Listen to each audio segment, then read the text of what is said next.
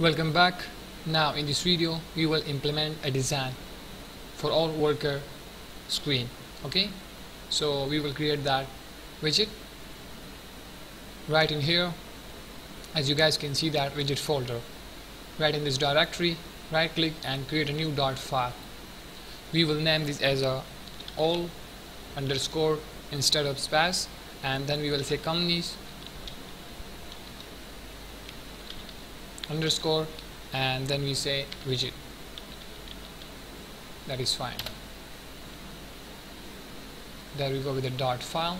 As you guys can see okay all companies widgets now right in here we will have a stateful widget so write st in here stateful widget and now we're gonna give the name to this as a all worker workers widget now we don't need this key simply dial this and click on the start widget and import the library material dot dart there we go.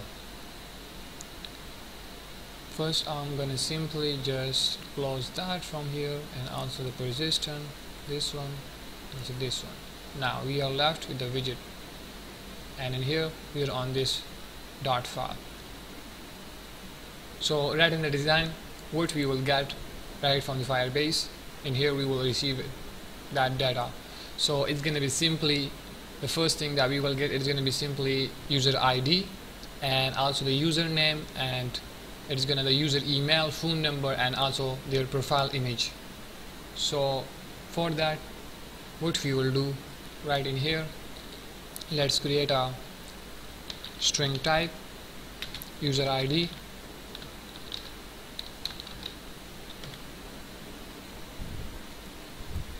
and also I want that that once a value assigned to this string type variable so so I want it's not going to be changed then. So for that what I'll do in here I'll say final key. Okay it simply means that that's why I add this in here. Now copy that and also paste it for the username also for the user email also for the phone number and the last one gonna be user image URL okay? So in here let's have that now name username in here and also let's have the user email. We're gonna create that in here. So later on we will get it and receive it right in here and we will use it in this design all workers widget and now also we will get Funo this small p and the last one gonna be simply the user image URL now let's create a constructor for that. So in here we will say all worker widget and parenthesis curly braces edit and semicolon and take this down. Now we will say required in here and this dot user id comma and we say required this dot username. Also required this dot let's have the user email. And let's say required this dot phone num required.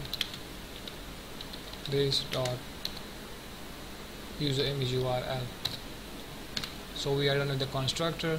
Add the const modifier. Now let's jump right in the widget build. In here we will remove that container and we will return card in here there we go with the card widget. Now right in this card widget what I'll do first we will set the elevation to 8 just add. And now let's set the color for that. So color for that card gonna be let's go with a white 10 now let's set the margin. And as usual in the EdgeInsets we will go with the dot symmetric and we will set the horizontal for that card gonna be 10 and also the vertical gonna be 6 child in here and then we will have that list tile widget in here parenthesis and take this down.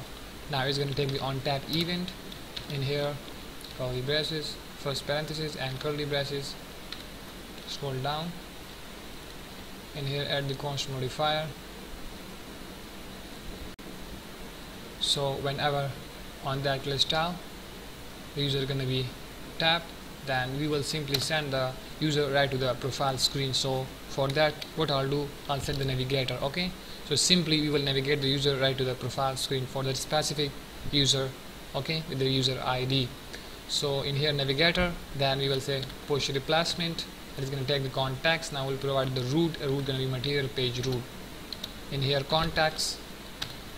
And let's navigate the user right to the profile screen. We didn't see the suggestion. There we go.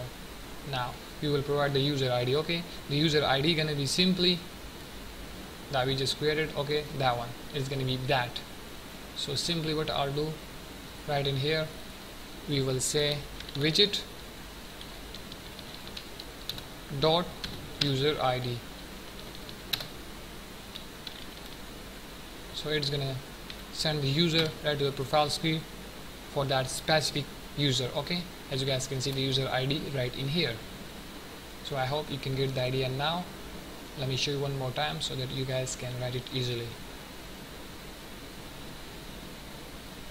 Now let's move further below this curly braces right in here.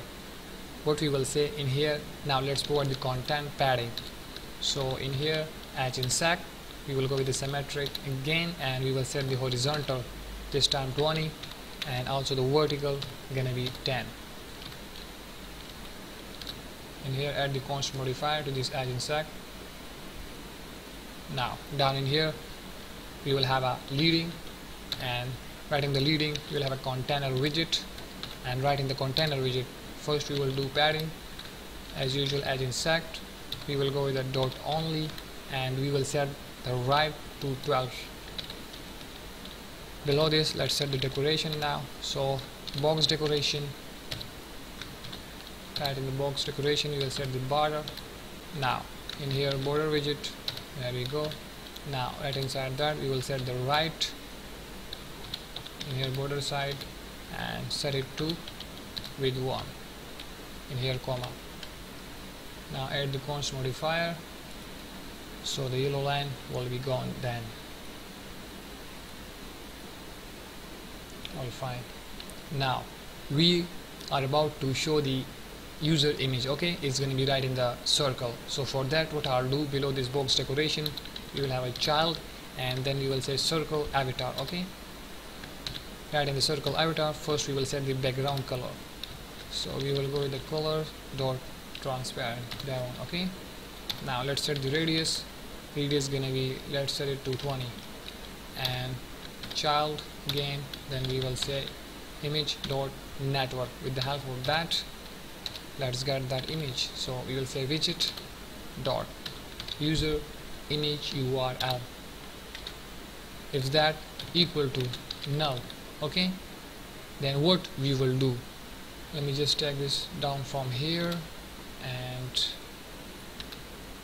also from here. As you guys can see if that user image URL if that equal to null then write in if. We will simply show the avatar image okay? In case of if there will be no image URL if there is going to be no photo. Then we will show the avatar image. So in here what I'll do I'll provide string and now we will open the browser and search for the avatar image. As you guys can see that image I have already got this so I'll copy the URL and in your case copy any of the avatar image like that and just copy the URL and then go back right to the app.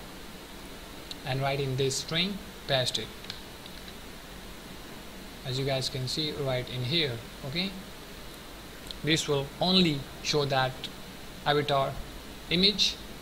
If that image URL equals to null if there will be no photo okay guys? Remember that.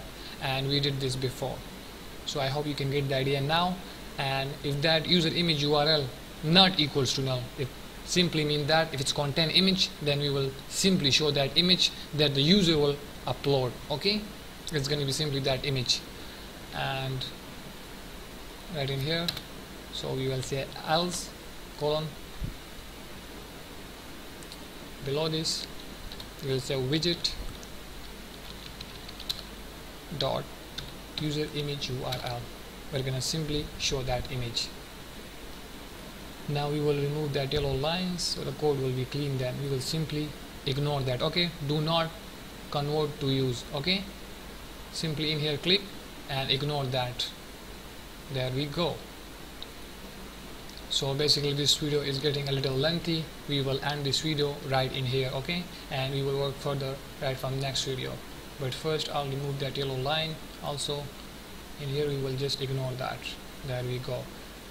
So from now on we have successfully implemented that. As you guys can see I have already explained this in detail. And that's it see you in the next one